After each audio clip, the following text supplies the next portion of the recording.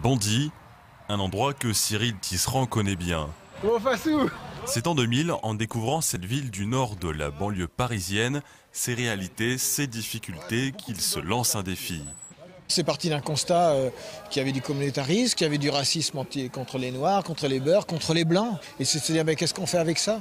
Est-ce qu'on ne fait que se plaindre? Est-ce qu'on dit qu'il faut partir? Eh bien non, nous, on dit au contraire, il y a un formidable défi. Si on arrive à vivre ensemble ici, on sera les pionniers, on sera un modèle pour le monde entier. Allez, sourire Accueilli aujourd'hui comme un héros pour son retour à Bondy, les débuts ont été modestes. Pour se faire connaître, Cyril Tisserand a d'abord proposé des cours de boxe aux enfants du quartier, sans distinction de couleur de peau ou de confession.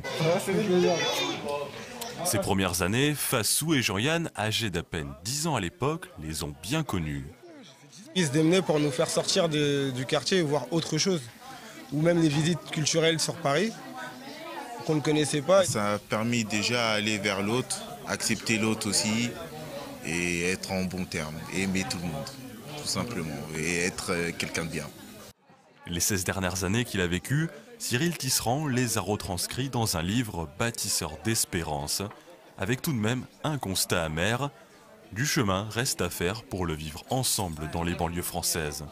Ça commence quand je passe ma porte. Est-ce que je décide d'emmener l'Esprit Saint avec moi et de dire, ben voilà, je vais être ouvert à l'autre, je vais le regarder, je vais l'écouter, je vais lui sourire. C'est cette attitude du cœur, ce regard, ce sourire qui va faire que...